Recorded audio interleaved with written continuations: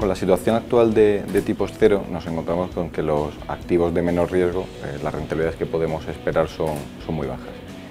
Nosotros históricamente siempre hemos buscado eh, activos alternativos dentro de, las carteras. Hemos estado especializados en, activos eh, alternativos y líquidos que descorrelacionaban de, mercados financieros.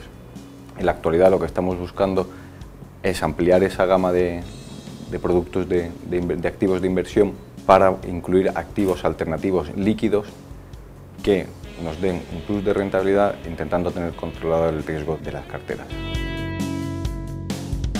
Es verdad que por otro lado tenemos una inflación a día de hoy muy contenida, lo cual hace que eso se pueda eh, sostener durante más tiempo. Es verdad que una inflación a estos niveles durante un plazo largo parece complicado de que se mantenga, con lo cual sí que hay que hacer ese ejercicio de buscar otro tipo de activos que nos den esa, rentabilidad. En cuanto a, bolsas, eh, estamos eh, positivos con la renta variable europea y sí que creemos que de aquí a, final de año nos dará alegría si es lo que estamos más posicionados. Porque creemos que las valoraciones son más son atractivas en este momento en algunos sectores